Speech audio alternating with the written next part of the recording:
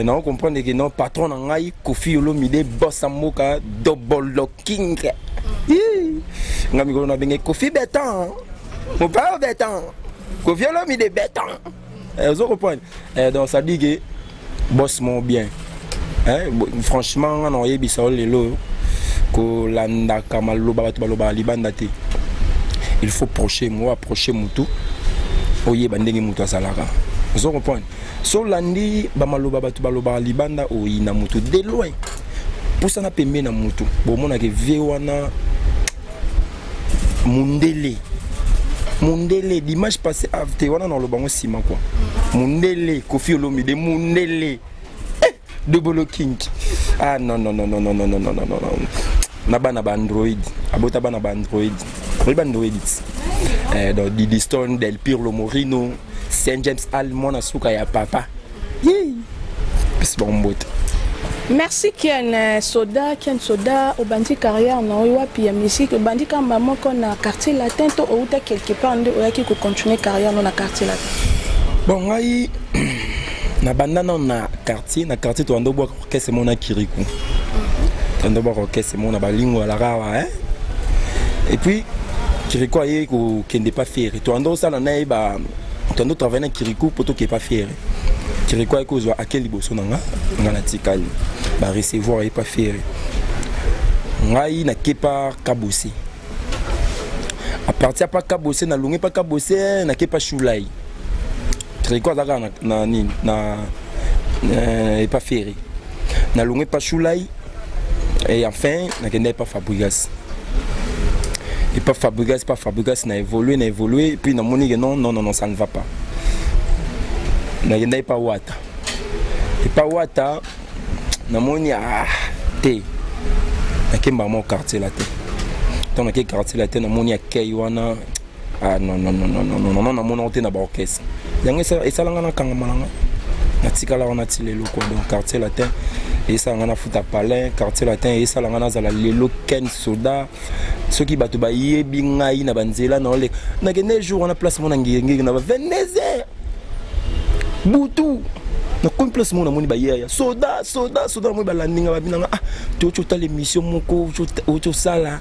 na elengi ya kongo ebolimisa eh, nde natangi eh? bazaka bato moko na elengi ya kongo tali osala émission moko boye ah franchement tolelaki yo fort eh, boye ah ok donc nakoma koba kofi akomisi nga star ko franchement vraiment moto abongo na boye mpo wani kofi olomide kofi beton merci ken euh, osali déjà combien d'année na musique na yo ndenge obandi bon na quartier na te na na 4 ans ouais quartier la tech 4 bamosusu wana bamoye natangatanga yango eza te mais naotanga nde place na ali pour le moment na na 4 ans mais na na bavitesse ya bato basala ba 10 ans mpo bato mosusu mpe baa na quartier la te basala ba 10 ans ngai aleki bango na vitesse ouais nayoki eloko moko olobi ke ozalaki na kiriku bozalaki kosala miziki esika moko na quartier epuis akepa ferigola yo ooluka no baplace okota mais kiriku toyebi ke malgré aleka na ye mpa na baorchestre ebele mais azalaki mpe mpa papa na biso kofi olomide kolongwa ya kiriku esalaka bongo pourquoi yo moto oyaka kosala ke kiriku alongwa to ezalaki kaka miziki kaka nde esengaka acomprendre ke fo nasala mpe carrière nanga place mosusu bon omoni biso bajeune eloko eboma biso nano ya presse ozo comprendre ya presse il faut ozalaka mpe na motema ya mwa ya kokita kwa omoni papa fololo aza père ye ayebi ndenge asalaka makambo nene akendaka nango c'est pas biso batiki yo na voyage moko mibale misato 4 5 babengani yo na quartier latin te ozali ntango ya salaire ozwaka ozo comprendre kiriko eloko esala ye mpona kozala breve kiriko azalaki trop pressé abulaki lokola abeti danse ya babos eh, akomi na succès akokaki ogere succès na ye te ozo comprendre esalaki esiko abi non nalongwa na parti adansa babosi nde esali succès boye seke bato edaye bayebi nga nake ebeta abeti 3 générique 4 générique rien 5 générique rien akomi so ayembi nzembo ole ebetaka so akende na bar akesenga pa dj ya botyela nga nzembo na nga yo ozalaka na yaka kende osenga banzembo mpe ba dj mais no explike mpo a moto na nga a moto na nga ma nga soki oza mutu na nga nabomaka kikamarade na makambo ya kofi olomide soki tali sika makambo ya kofi olomide ata oza masa na nga ata oza pere na biso tanga nga beba na papa ya biso na mare na biso voir meme na mama oyo abotanga mpo na kofi olomide mama na nga ayinaka makambo mama mama tika obotanga eh, obota nga yo moto obota nga ya loko okabela nga kofi mm. eh, obota nga mai opesa nga mosala te eh, kofi moto apesa nga mosala kofi motu asala lelo bato bayeba nga boye nazala oyo nazali donc tika koloba makambo olingi oloba na nga wana mama tobebana na mare na biso ti aye comprendre na bino nonnnnn osa bulo na yo napesi yoka bafleur bachance ebele nayebisi mama ntango otyaka nga na mabondeli fo tyaka mpe patron na nga nzambe apiaka wi nzambe apiaka ye mbongo ebele mbongo abakise ada na mbongo ebele me abakisela ye abakisela ye mpo biso mpe tokei su liboso c'est ça merci ken na kati ya quartier latin oyembi banzembo nini obwaki déjà bakreni na kati ya quartier latin wana ya biloko ya sika naobomba yango mpo bato na ebimi te bato baoya oyiba eza mbala liboso bwaka to obandaka kobwaka me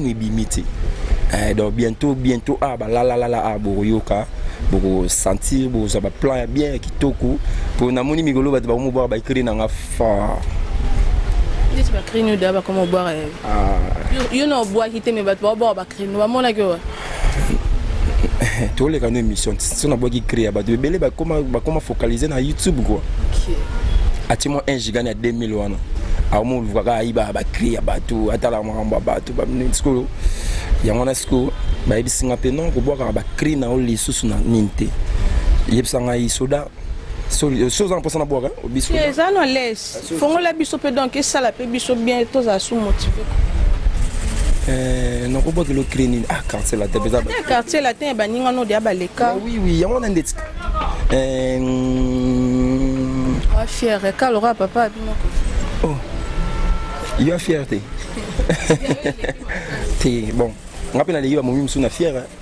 eh, nga so osali nga fiere nga mpe nasali yo fiere nga nao na elo moko boye nasengaka pardon te so nasengi pardon seke nasalaki elo moko namoni mari nodo fo nasengaka pardon ozo comprendre eh, nga même pas mwasi nga même pas mwasi nayebisaka mwasi so olakisi nga mobali nalakisi yo mwasi so olakisi nga 200 mibali nalakisi yo 200 fille ozo comprendre eh, donc eh, ya nango kifiere te eza basala biso mpe mwa mabe trop eh, motema mpe ezalaka libende te kua ezalaka mosuni kua eh, nakobwakela bino kle nini bakle ebele mpona so oyebi aki pona pona nga na obwa yes fongola biso ata ya baninga no baleka na quartier la te baanimateur oyo batika mpe na bacri oyo ti lelo ebeta na baconcert na bino eh, yango nalobi oza mpe moto okopona bi bongo naa na mposa bwakelanga cri o ya na bwaki yango bwakela nga kri oyo nabwaki yango bwakela nga kri oyo nabwaki yango nyonso amina ponele to mosusu ememo likolo yo moko pona oyo eh, osepela eloko ememaka nga likolo ya te naza ken soda nkombo na nga ken soda baptisé par kofi olomide lekua draco raman donc ntango abatiza nga soda wana ayebi de quoi suis capable donc oyo oyo oyebisa nga c'est pas bien emema nga likolo eh? nani eloko moko te komema nga odela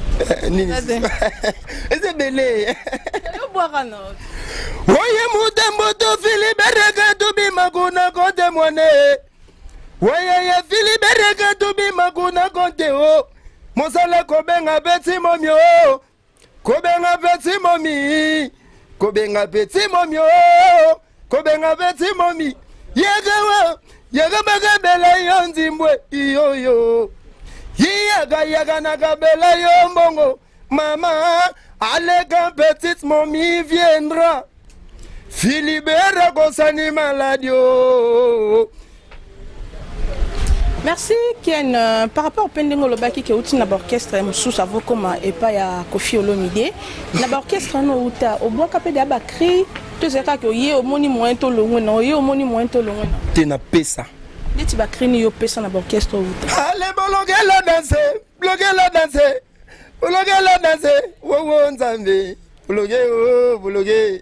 mova o na ngai na bologe ozo comprendre oyebi ke wana C'était pas fabrication. Elle crie à fabrication. nayebi sosi kona azalaka C'est une de pêche en haut. bazwi yango shenga nazala wana yaya ndeni kotisa ye na ocre wana banini sikoyo patron alobi na bongo osaka nini oui mon pagnon okokaki obwaka wana te mpe bakotisa epa moto mosusu bon nayebisa yo biso toza bakolo orchestre te bakolo orchestre eza bango ntango alobi na nga pesa ye plan nakodiskite te ke non nakopesa ye plan te boyeboyeboye te boyeboye te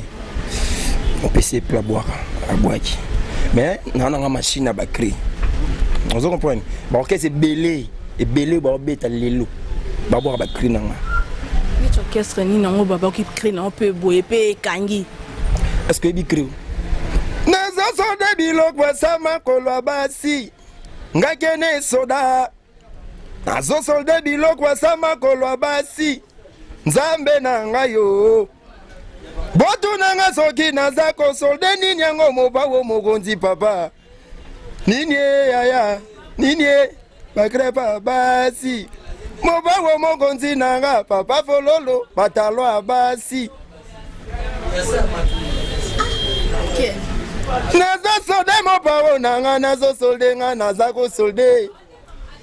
naza soda biloko asa makolo ya basi ngekene soda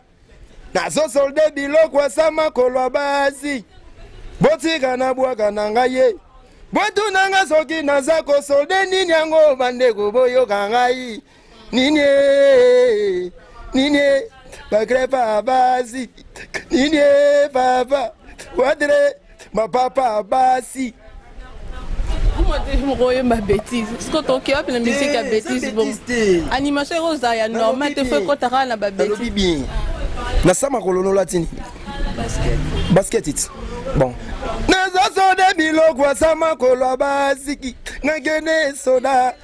nazosodebilokwasa makolo ya basi botika na bwakalaka ye botuna nga soki naza kosode nini yango bandeko boyoka nga nini nini bakecha ya basi olingi aloba kechi ota mpe epai héritier watanda mpe kuna mpo otika cri te kuna natika te vraiment kuna natika te bino verité te kuna natika te kuna biso tolaki na badebut ya moni ntango wata alongwe maison mère euh, salle orchestre toke na badebi sikoyo azalaki vraiment na mbara de choix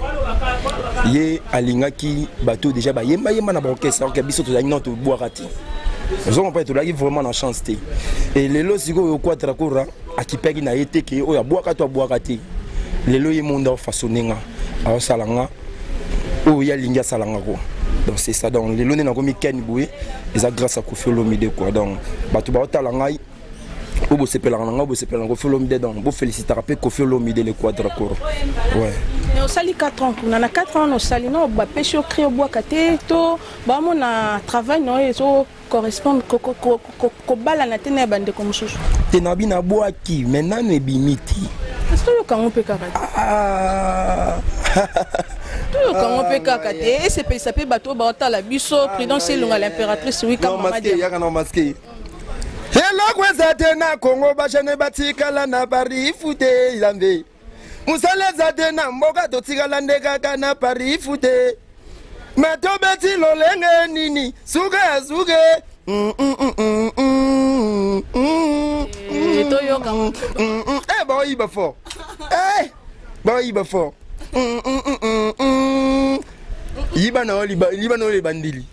suka na yango so oyibi kaka ebandeli wana suka na yango na olukela yango eloko mosusu efanda mm, mm, mm, dididi ah, tala baple ezali ya danger ozo comprendre moto nyonso na mokili oyo azalaka na mokonzi na ye nzambe yo mpo na mokonzi noti patron na wana mokonzi noti ngai kende soda naye kobwaka na kati ya kongo bokoyoka na generation oyo kofi mopawa aza lider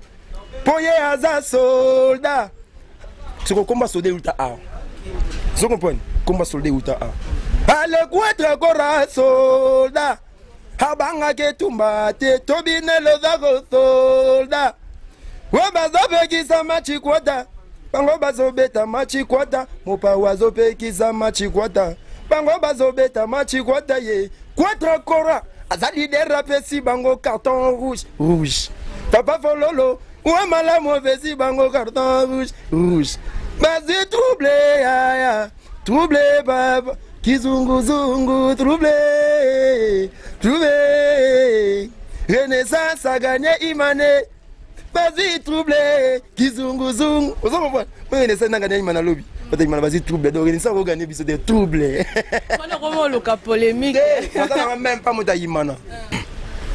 naza meme pa moto ayimana donc baekipe wana nyonso eza baekipe na biso ya mboka mais imana lobi azwaki un peu trouble par rapport que renaissance agagnaki donc renaissance akoganye te mpo mwana na ye basis ko trouble omona batrouble place eyebima bon c'est ça ko merci uh, soda tomoni papa na biso kofi olomide ye mo mpe kota bacri asala jete ye mo mpe abwakaka na banzembo na ye ebimaka yo olobi ke ozolinga nde obwaka sika est ce que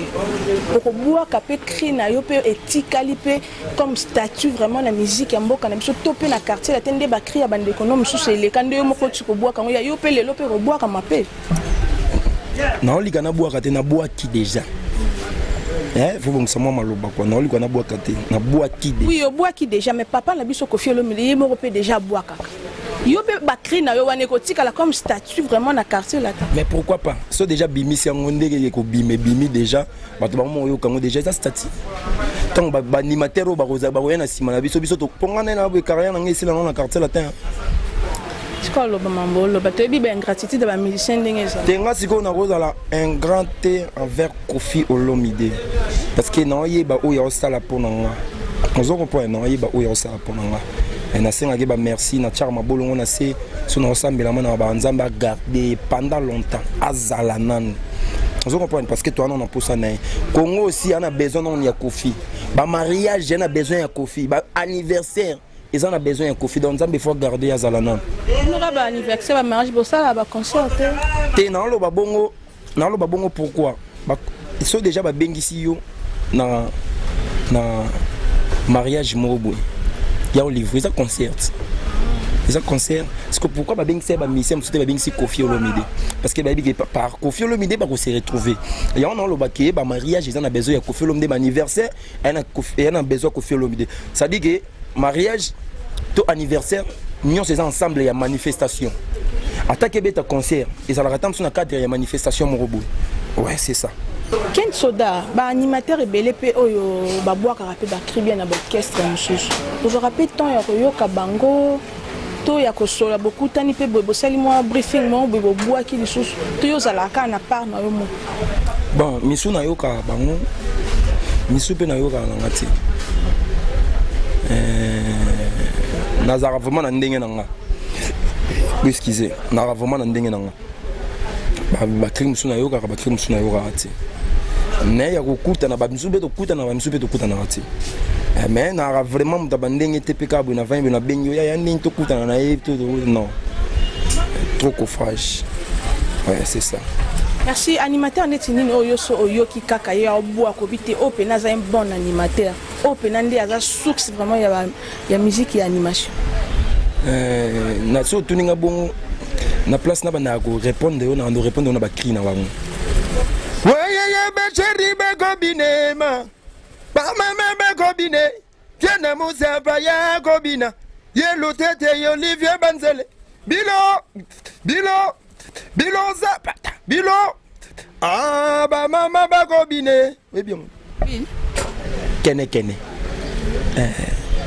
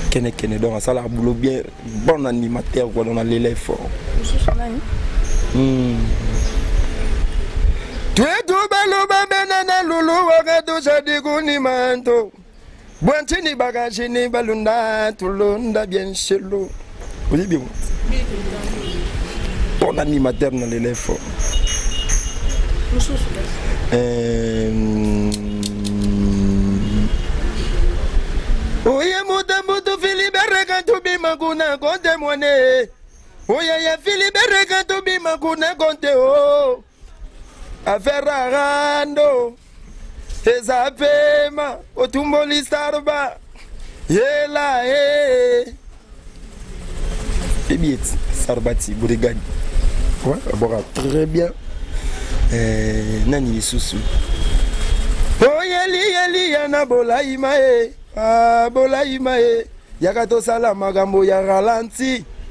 eh, oyebi eti eh, ale boloki nani boloki eh? boloki boloki lisusu ebongo koyoka ndeko na obersi mwana ozwa mpe ntango oyoka bacrime na ye te vraiment ah, te te te te te pas un bon animateur abwaka bon ngai nakolobela oyo moko eza bonne yo mpo na yo moni eza mango yango mabe yo ntango omona omona yango bone ta mosusu nga mpe na omona yango mabe donc réponse nanga ezaka yango wana ndeti nini cri ya mabe oyo oyoka epai na ye nde abwakaka d'ailleurs nayoka yango nano te soki naoyeba cri ya mabe na ye malamu na différence wana ndeni mpo baanimateur oyo batikala na orchestre fabregas ba 3 jours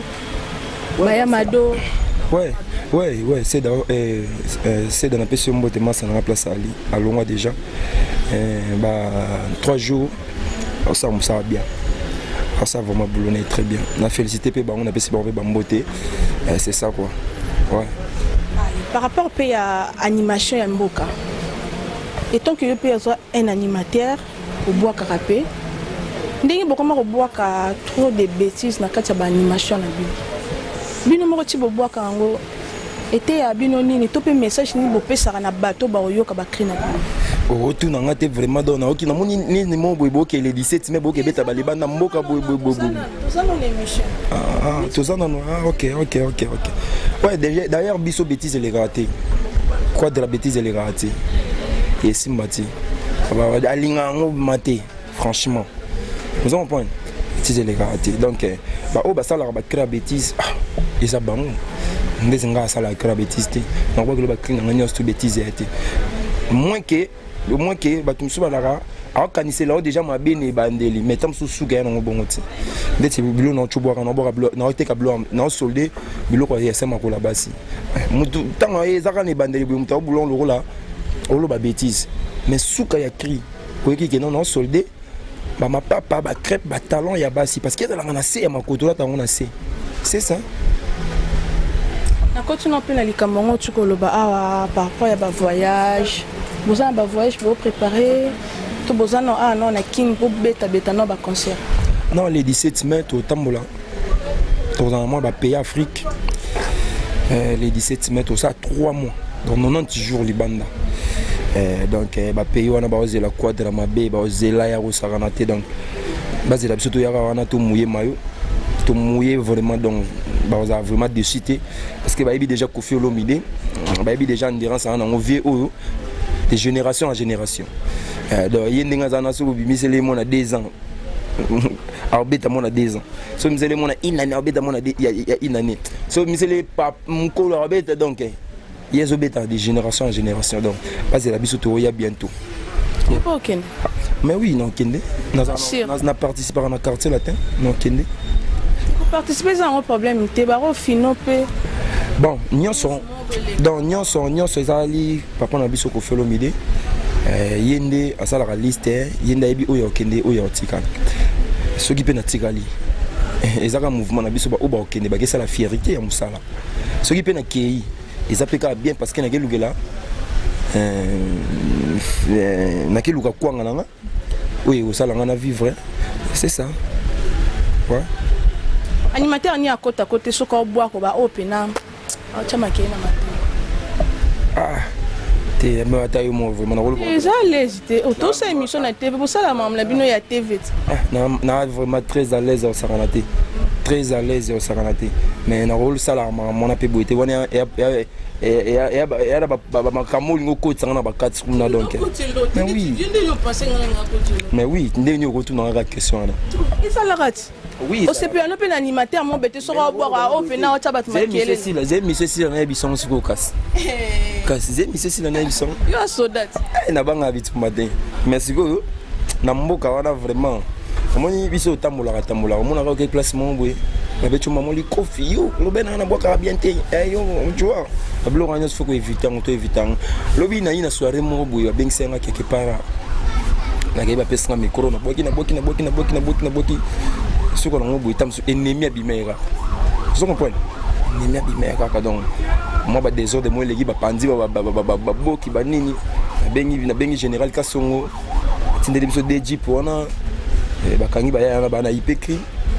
mais namoni eloko asala na bango te batika bango ka sho eza te tu vois donc euh, lelo batraitaka kofi olomide que kofi abimisa lisusu bato te kofi apesa lisusu bamusicien na ye chance te parce que oyo oh, baleka na quartier latin bapesa ye mwa déception moko bo yo mpo oza sur ke ozwa makambo makasi na kati ya quartier latin me nazwi daya mwa makambo ya moke ona yango ti bamakambo ya mike mike oyo daya nazwi yango nazwi yango grâce na ye ozo comprendre euh, je ne pense pas soki mwasi aboyi yo olinga lisusu mwasi te oswati so mobali aboyi yo olinga so mobali te donc réponse na ngai yango wana donc ndenge aza wana elobelaka ekuta eloko te banishofu nifra okende okende te ye moko aza deja aza kofi ozo comprendre aka mopao eh, donc eh, isaja bimisa yo abimisa ekirikuti isaja bimisa yo abimisa yo kaka ozo comprendre donc c'est ça on est là abimisa ngai ozelaka eloko na bwaki oyo babimisa yango ebima nde bosanti kapasite ya mosala oyo naa nango kati na ngai eh. titre ya cri yango eza nini nous tous tozaka na on va voir on va voir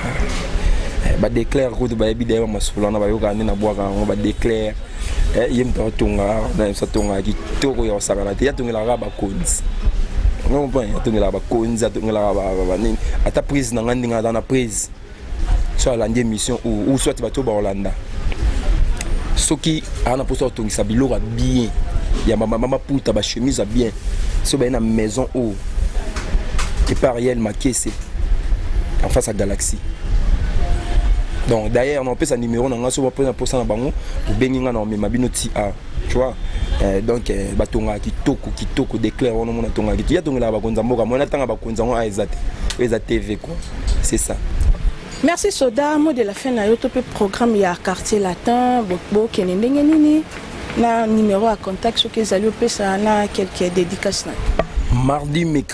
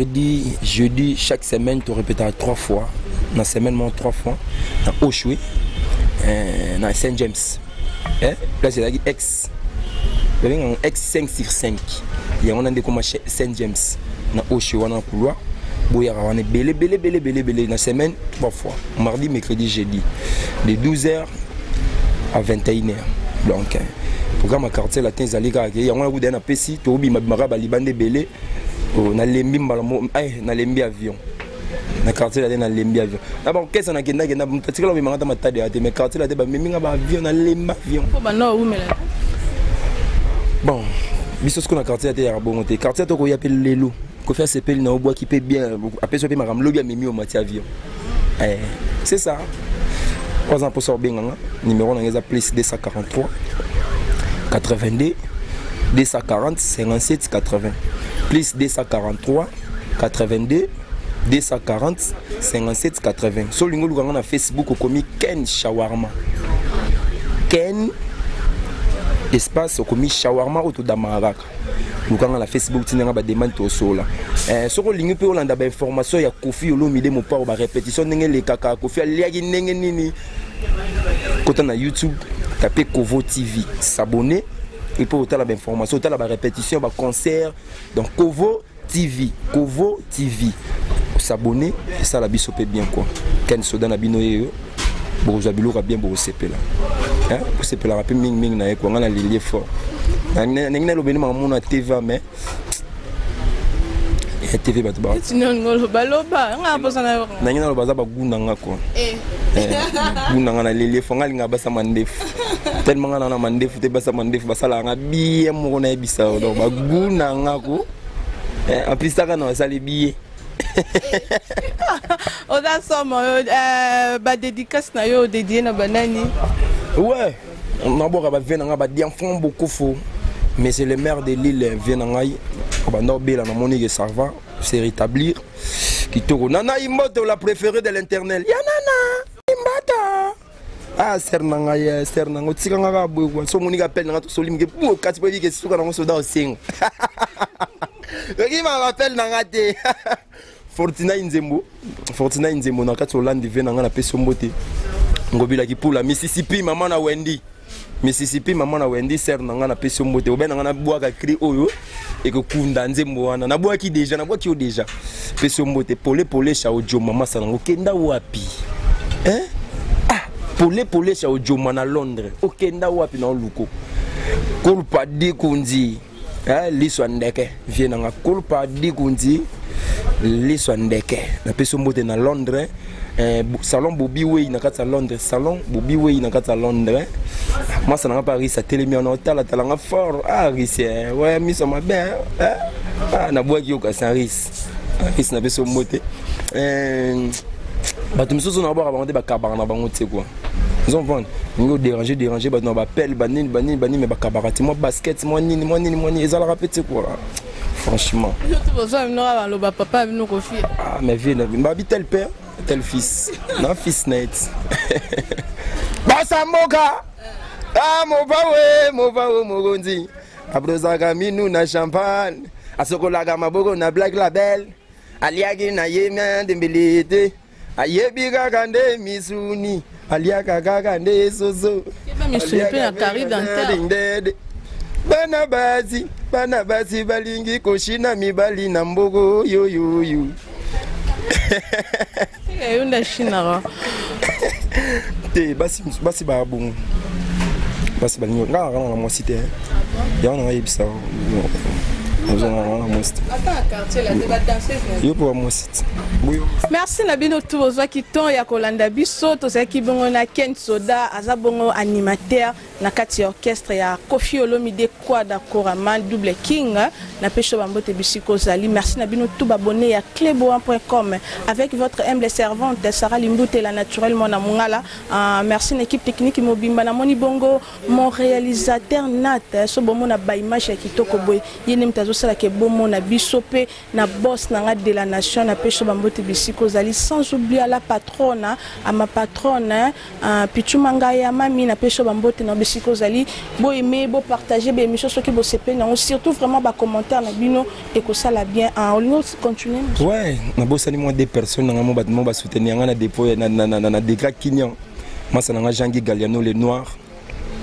Jean-Guy Galiano masa na nga bogar moko boye le noir quoi pesa manager Kaiser manager Kaiser pesa ye mbote pesa ye mbote yebisa ye ke lobi ntango na nda obwaka basoda bayaki mbamo bakati nga donc nayaki nakota de na sentiment manager Kaiser pesa mpe h mbote quoi eh, pesa h le 24 mobimba pesa bango mbote donc ken soda ye DJ Trésor ya dadi eh, ya dadi mukadi ya rodi bianda eh, ya michel obalaki ti eh, ya, ya gigi obalaki ti tomeli ata basikre te kua mpesi bino mbote joali masimo arsène arsène arsène le grand artiste peintre napesi yo mbote place oyali donc eh, jean pichonga mukulu jean pichonga mukulu motema ya bene lutete apôtre lievin kuna moto atyaka nga loboko napesi yo mbote lingwala bomoko Ken Soda na bino ye yoko.